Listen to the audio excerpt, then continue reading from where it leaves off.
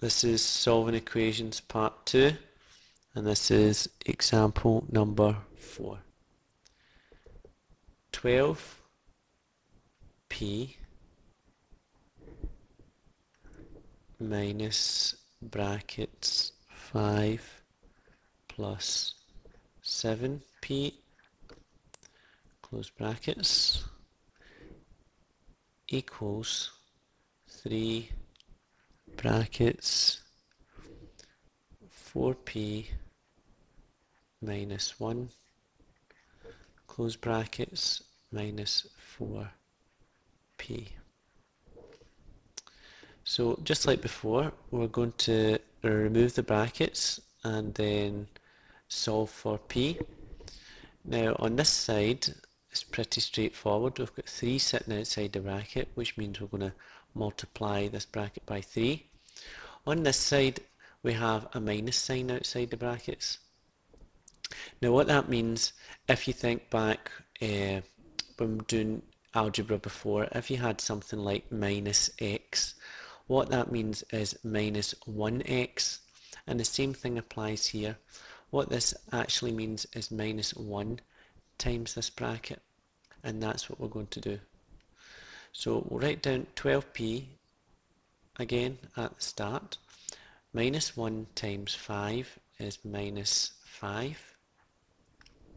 Minus 1 times plus 7p is minus 7p. that's equal to 3 times this bracket, so 3 times 4p is 12p and uh, 3 times minus 1 is minus 3 and we still have our minus 4p on the end. First thing we're going to do on the next line is simplify where we can.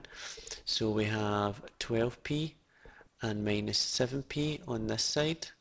That gives us 5p.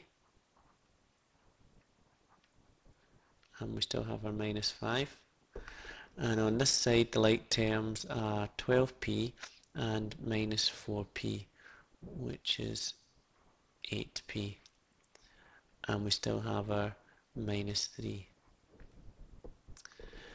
now remembering letters to the left and numbers to the right and change side we change sign. So looking along the line we see what needs to move. Minus 5 is a number. It should be on the right hand side and on this side we have 8p which is a letter which should be on the left hand side.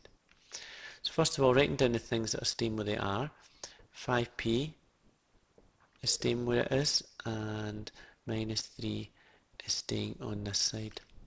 Minus 5 first of all if we change side it becomes plus 5 and 8p it doesn't appear to have a sign, so we know it means that's positive. Change side, it becomes minus 8p. So we have 5p minus 8p equals minus 3 plus 5. 5p minus 8p is minus 3p and minus 3 plus 5 is 2 want p on its own, so p equals, I'll put the 2 down again, minus 3 is times in the p, so it's going to divide on this side. Now we have p equals 2 divided by minus 3. Uh, you might be concerned about the minus sign on the bottom, don't worry, if you think about it.